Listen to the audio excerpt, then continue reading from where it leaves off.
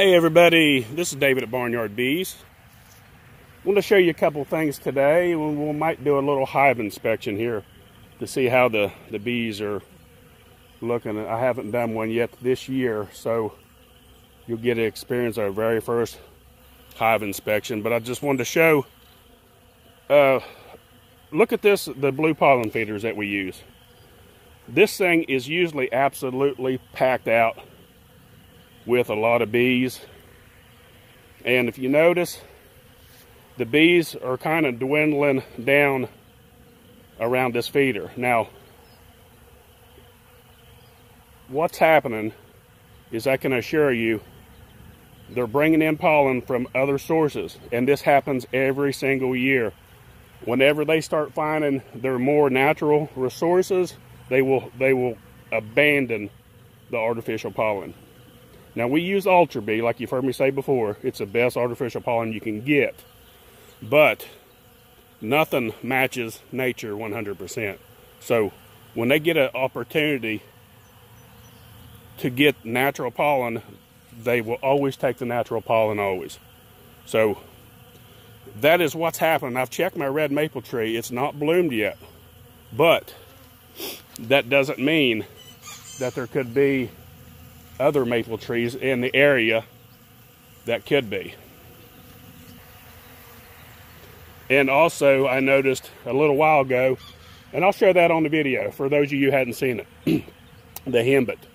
We've got a huge henbit bloom right now, and I'll show you what it looks like. Now, they're, uh, we, we have the external feeder, and they're tearing it up pretty good right now. But uh, let me put it on pause, and I'll take you to the spot where there's henbit, maybe we can spot some bees. It, a lot of times it's hard to, to find them on it because, like I said, with pollen uh, in the wild, and, and a lot of times it's a feeder, but this is this is about two or three days straight that I've come down here at different times. So uh, my last video, I said, well, it may be the time of day, but it's possible because I'm checking at different times of the day now. So this is about the third time in a row I've come down here, and there's not been a whole lot there. So I'm almost positive that they're finding other sources. So let's go check that source out and see what it looks like. Okay, I'm back. I come up here to the upper part of my yard and we have got large amounts of henbit growing this year. And I'm not seeing any bees on it. But like I said, it all depends on the time of day because all flowers are different and, and bees like to get on pollen a lot of times if ideals are conditioned around 10 a.m. in the morning after everything dries out a little bit you'll start seeing bees out till a certain time and then they just stop for the day but this patch right here of henbit you can see it it just looks like some kind of weed but it's it's a uh, right here's a bee buzzing around me I'm not seeing any bees at all, but let me get a little close up of the of the flower so you can get an idea what it looks like. You can see it's got like a very small flower in purple, kind of violet, violet purple looking. But this patch right here, these are things that you want to start looking for in the springtime. Because if they're bringing in they was bringing in some red pollen last week, and we'll inspect one of those hives going in here and see what color they're bringing in now. Just give you an idea. I'm not seeing any bees on any of this up here. So we'll go down and look at another spot and see what we see. Okay, here's the red maple tree that I go by every year to keep an eye on. And it's still in, in pretty tight in the bud. It, the bud's still pretty tight. There's nothing that I see that's open yet. And this is a tree that I checked yesterday, so I know it wasn't in bloom, but you can see all over the tree, it's, it's budded out really heavy. So, but like I said, that doesn't mean there's not another one, because once these open up, it's like close one day and open the next. It's not, it's pretty quick. So it's possible you could come out here tomorrow and this thing's popped out. But usually weather conditions are just warm enough like they have been this year. Usually in, in about a week or two weeks, this should be popped out. It just depends. So I've been seeing a little bit of uh, dandelions bloomed out too, but not many. Not enough for them to stop and bringing in pollen in. So let's see what else. Okay. Today is uh, February 8th, three days later. And I'm gonna try to clip this onto the video where the other day where I walked around and uh, was showing the the henbit and the red maple. This is my red maple tree I go by. And this thing was in very tight bud. It wasn't blooming at all. And it's now coming out, but it, it's going to be too cold these next couple days. But thinking Monday, this, this thing should be bloomed out really good by Monday, and it's supposed to be up to 60. You can see right there, see how it's, it's blooming out. Uh, it's just in spots right now. The whole thing, of course, is not bloomed out. It's just starting. So possibly tomorrow it's supposed to be 50. But I'm thinking Monday, and I'll do a short video of that. But that's about it. I just want to tag this on to the to the end of that video, or not to the end of the video, the part where I showed the red maple tree. And that's it. Just walking the yard around the yard there for about five minutes, I've just seen a handful of dandelions and they're very low to the ground. Usually the ones that pop out first are very low to the ground because they kind of avoid the the freeze and the frost just a little bit more so they're they're uh, pretty low to the ground but not near enough to for the bees to be bringing in pollen. Right right here's another one right here. But it's it's a good sign that they're starting to come out and we're starting to see them a little bit. So let's go down and look at one of those hives. Okay, we'll watch this hive here for a second. They definitely got pollen, but they could be coming straight over from that feeder. I'm looking for some red, possibly some henbit. But not really seeing anything like that coming in yet. Sometimes it takes a while before you'll see, but these are coming in from the direction uh, back towards the hives back that way. I can watch them coming in. They're coming they're coming straight over the hives coming this direction and coming in. So they may not be coming to the uh, pollen feeder. They may be getting this from somewhere else. Just watching the traffic I, you can see it coming in from that direction just like a flow of bees coming this way. So it's possible. So we'll check we'll check a couple other hives here and see what we can see. Okay. You're about to witness the first hive being opened up this year, Barnyard Bees. very first one. None's been cracked open yet this year. I do have a veil on, by the way. Because I come down here yesterday when I was making that video on the, the mini nucs. One popped me in the lip. And it swelled up on me. so I don't want to hit in the mouth again today.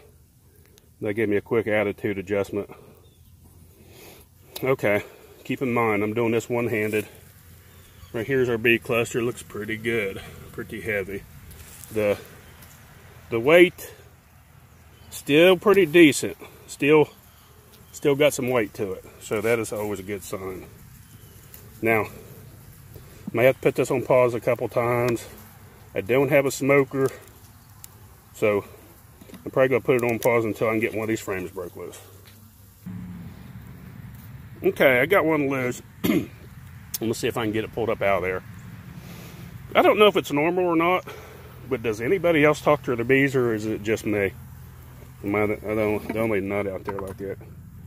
I'll catch myself doing that. I'll be sitting here getting ready to pull a frame out and I'll be talking to them and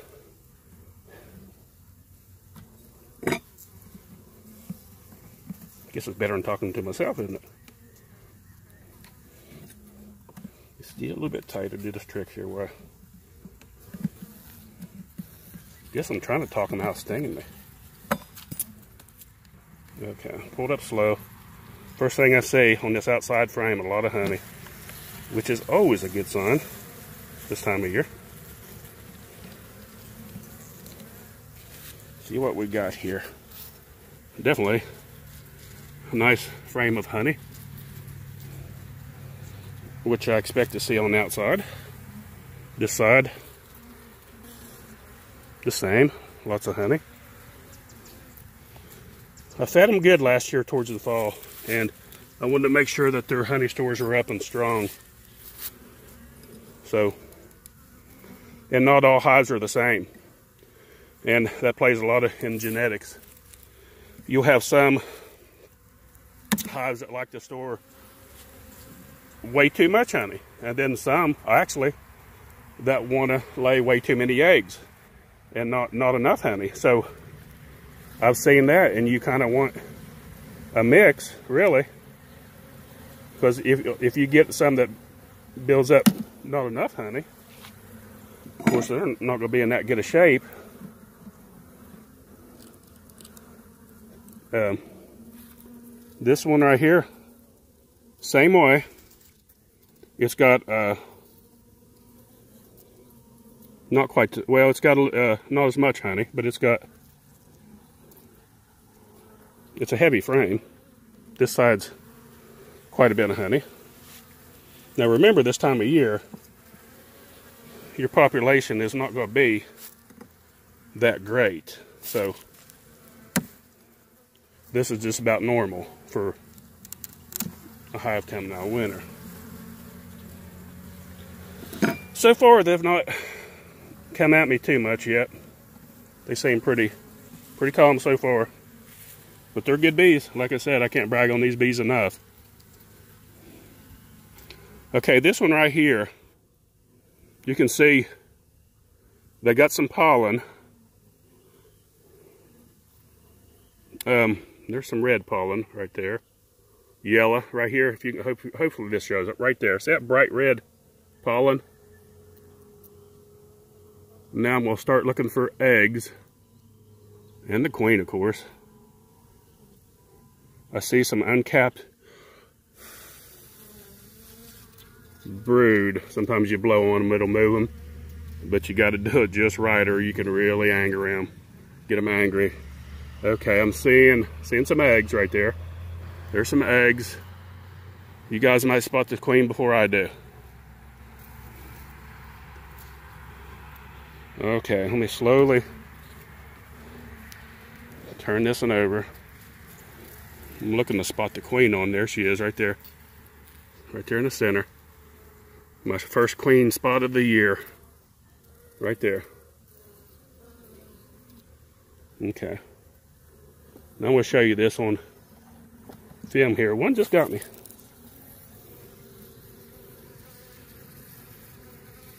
On the leg and get the stingray out. Okay, well, considering the time of year, I only got hit once so far, not too bad. I won't fib to you when they get me, I'll tell you. And see, it, it's even bad now because the, these uh, frames being as tight as they are because they've not been going through yet. That first jerk, when it releases, doesn't make them very happy. So they're naturally pretty mad when you do that sometimes. But like I said, I'm pretty lucky with these. They're good bees. See a lot of pollen on their legs. See some cap brood right there in the center uh, some eggs around it. So now, now here's the thing I want to, uh, that you notice the frame with the pollen on it. Okay. So far, that's the only pollen I've seen on these frames. I'll look again, but I don't think I've seen any on that first one. So keep this in mind. What if we hadn't fed pollen? Through the winter.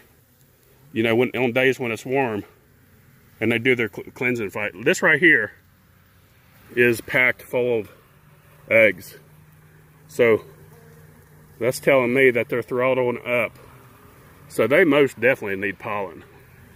And I see a lot of pollen on their legs. Now there's a there's a first hive beetle I've seen right there.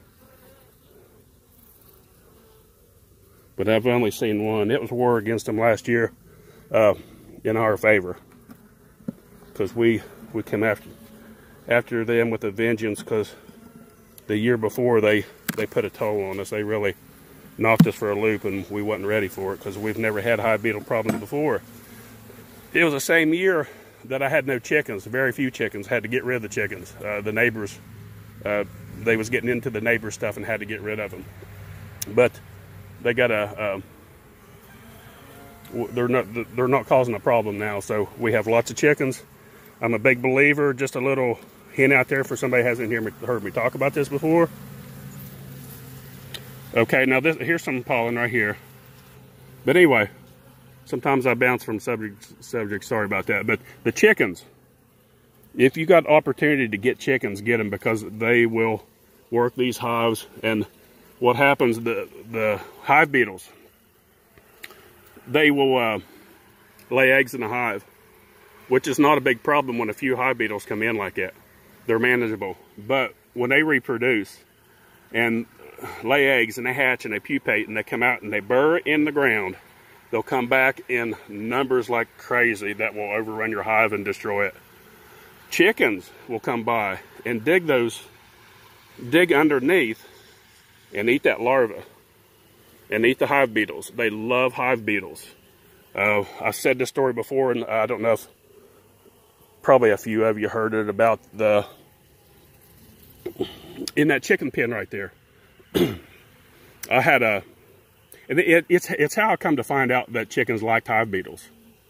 And um, this is years ago. I had a, a just a bucket of water for the chickens. I think it was, uh, I, don't, I don't remember what time of year it was. Now here's pollen here.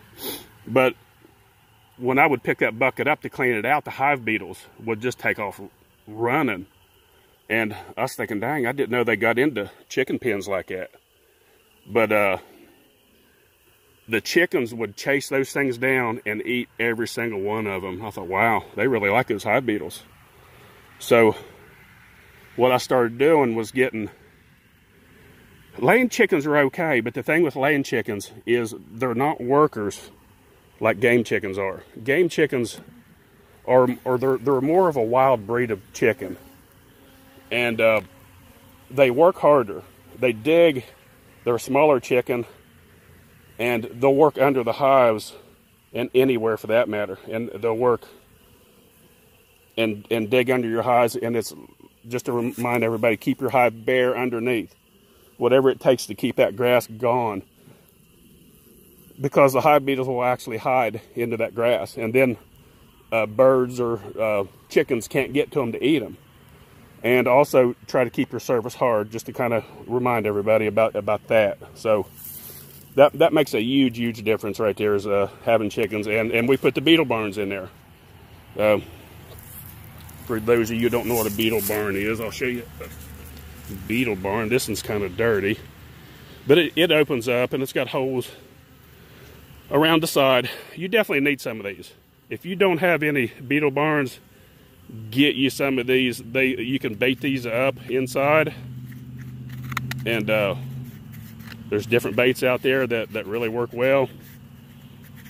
And they will they will knock your numbers way down. We have these at barnyardbees.com as well. So, but anyway, that's uh, that's pretty much this hive. Uh, what we found out here. Okay, uh, the the frames to the right, facing south, uh, had honey, and there was there was a little bit more pollen as I got to the side, but not a lot, not a lot. So that's why I'm a big believer in pollen because uh, there, some people will tell you don't feed pollen, don't feed pollen. You don't feed pollen, you're going to starve them out as well because they uh, it's a protein source. They need pollen. And a lot of people agree with me on that. Some will disagree, but I tell you what, I, we do this every year, and our bees come out winter very, very strong. Okay, here's the the the frame with the honey. It's very heavy. A lot of honey. It's got plenty of honey for as many bees as it's got in it to easily get us through. Because really, they only, they only have to, this is only going to have to hold them for another couple more weeks. Because as soon as that red maple pops out, we're going to start with the sugar water, two to one. That's what we, like I said in the previous videos, that's what we uh, use as a guideline.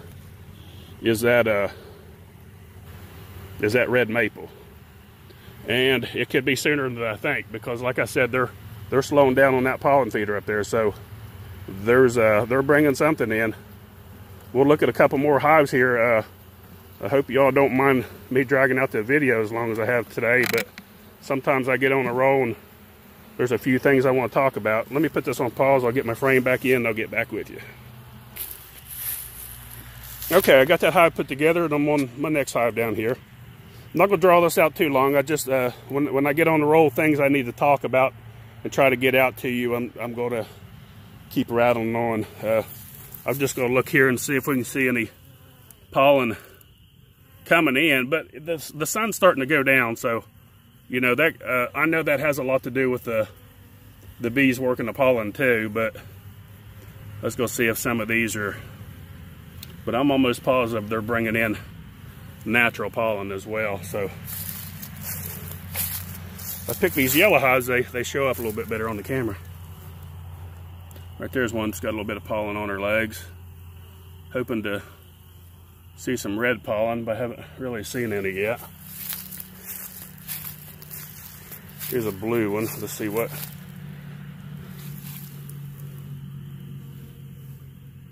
See, they've kind of slowed down when you see your bees, see how they're just kind of walking around on the, the entrance now. They've slowed down. When, when they're working, they're, they're a pretty good pace in and out, in and out, in and out. These have slowed down. There may be a few just coming out for cleansing flights now and just taking their time going back in. They're not really on mission of doing anything. You can tell that just by the way they're acting. So the wind's starting to pick up just a little bit. Not bad. It's still nice out. Very nice out. There's one of her little minis. It's not moving right now too much. But, okay. Hoping to see some, but I'm not seeing it. But like I said, there's, there's a little bit right there, but no red pollen. Okay. So that's about it. I'm not going to bore you anymore. That's uh, that's about all I'm going to show you today. That's all I can really uh, do. I'm glad we got it. I'm glad you got to go through the first hive inspection with me. That's honestly the first hive I went through this year, and you got to see me go through it firsthand. So February 3rd, yesterday was Groundhog's Day. I don't even know if Groundhog's seen the shadow or not. Never did here. I usually don't pay attention. But uh, that's about it, folks. If you need uh, if you need packages, nucs this year, we have tons of them. Uh, put your order in. Uh, they're going fast. I mean, they're going really fast. So hurry up. If you if you hadn't ordered your bees, you better order them now. Don't wait till later on. Get your equipment built. Do some preparations. Get get your equipment built. I said that in the last video. Just to remind everybody to get on the ball. Get your stuff done now because you don't want to wait till your bees come and then not have anything built. So let's get on the ball. Let's get them get get our equipment built. Uh, don't forget uh, share these videos if, if you'll take these videos, share them on YouTube, on Facebook, anywhere you can share them. Don't forget, click on the little bell. You'll be notified new and upcoming videos. Like and subscribe. And thanks for watching. Barnyard Bees.